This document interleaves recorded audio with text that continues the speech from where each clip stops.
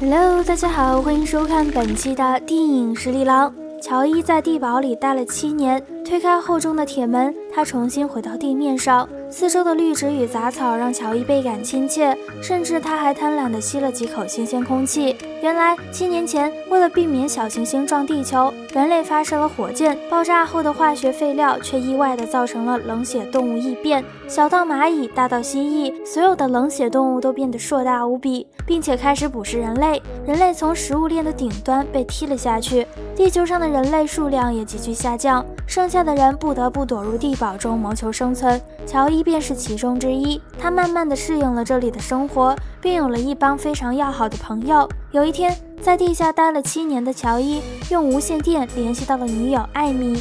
于是，乔伊有了一个大胆的想法，他要独自去寻找七年没见面的女友。随后，乔伊带上简易的武器来到了地面上。这时的地面已是一片荒芜，巨型怪兽也随时会出现。不久，乔伊进入了一间废弃的屋子，他在水池里发现几只眼睛，不料这里藏着一只变异的巨型癞蛤蟆。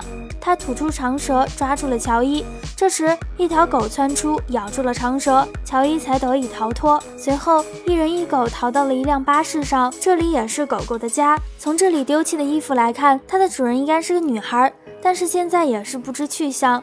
这让乔伊想起了自己的女友，她也喜欢狗狗，是个动物爱好者。在这里休息了一晚后，乔伊又要出发了。结果他刚下车，狗狗就追了上来。他叼着主人的衣服，让乔伊也带上自己。原来他也要去寻找女主人。乔伊觉得这样也是不错的，至少有个伴儿。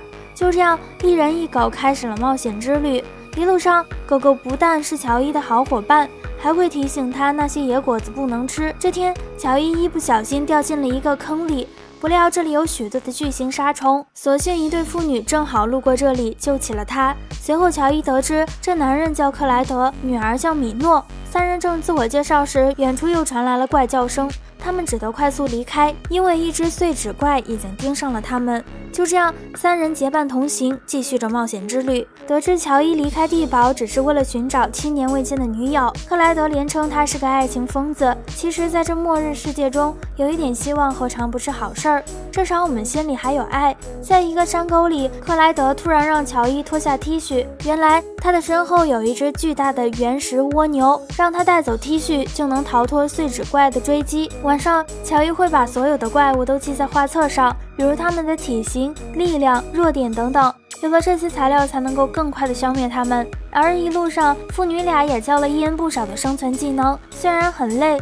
却让他变得越来越坚强。不久后，在一片沼泽地旁，乔伊与父女俩进行了告别。接下来，他的路将独自完成。在进入一片树林后，狗狗突然表现得极度不安，并躲进了一艘小鸭船下。乔伊也知道他们遇上了麻烦，果然这湿地下钻出了一条巨型蜈蚣。看着眼前的巨物，乔伊瞬间被吓懵了，他直接被甩到了一边。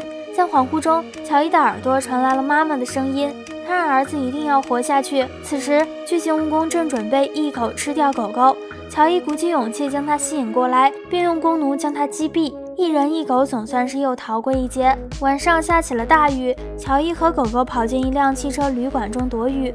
不料这里还有一个能说话的机器人，它身上还有少许电量，但双脚已经断掉，无法行走。一番交流后，机器人同意将自己仅有的电源送给乔伊，这样乔伊就能够通过无线电与艾米联系。从艾米口中得知，二人间的距离已经不远，一些幸存的人类正准备去救他们。不过刚接通不久，电池就用完了。此时，机器人身上也仅剩十分钟的电源了。为了报答他，乔伊将机器人抱到了屋外。他们坐在一起聊天，看漫天的水母飞舞。机器人还即兴的放起了音乐。当一曲终了，机器人的电源也消耗殆尽。第二天，乔伊带着狗狗继续前行，在一片草地上，他们遇到了更加凶猛的怪物——沙虫王。乔伊被吓得一路狂奔，沙虫王在地下穷追不舍，他所到之处尽是天翻地覆。而沙虫王只能靠声音追捕猎物，所以乔伊和狗狗躲到树下，根本不敢动弹。沙虫王在他们身边徘徊一阵后，又缩回了地下。结果狗狗发现主人的红裙子掉落，急得跳入了水中，这下又将杀虫王引了过来。情急之下，乔伊拿出了克莱德送给他的手雷，在杀虫王跃出地面时，顺势丢入了他的口中，最终将他炸得粉碎。掉入水中的乔伊也十分激动，真没想到自己干掉了一个大怪物。结果上岸后，他发现自己身上爬满了蚂蟥，更糟的是，这些蚂蟥还有毒。不久，乔伊便陷入了昏迷状态。当他再次醒来，发现自己已在一个营地里，眼前的女孩正是艾米，她救下了乔伊。据艾米说，游艇船长带着一些人找到了这个基地，并准备带着大家到一个更安全的地方。在艾米的带领下，乔伊也见到了船长一行。这名船长很热情，声称会帮助大家离开这里，还称赞了乔伊这场为爱而来的壮举。当然，乔伊这七天的经历也让艾米无比的感动。但事情并不是乔伊所想的那样，艾米没想到乔伊真的会找来这里。事隔七年，艾米已不再是当初的那个懵懂的少女。这几年里，他失去了亲人和朋友，更在去年失去了自己最爱的人。得知此事，乔伊有些崩溃。他觉得自己就像一个傻瓜。为了你，我做了半年的准备，翻山越岭的来看你。为了这次相聚，我连见面时的呼吸都曾反复练习。但这只是一厢情愿，艾米早已心有所属。晚上，乔伊打开了在地堡中画的地图。上面有地形标记，还有朋友们满满的祝福。看到这些，乔伊只能苦笑。他用这里的无线电联系了地堡中的朋友们。当听到朋友们的声音后，乔伊非常激动。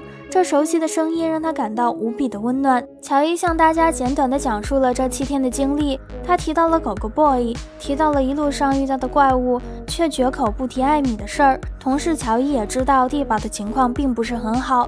随后，信号再次中断。也就在这时，乔伊发现了桌子上的浆果，这正是狗狗不让他吃的果子，它们有毒。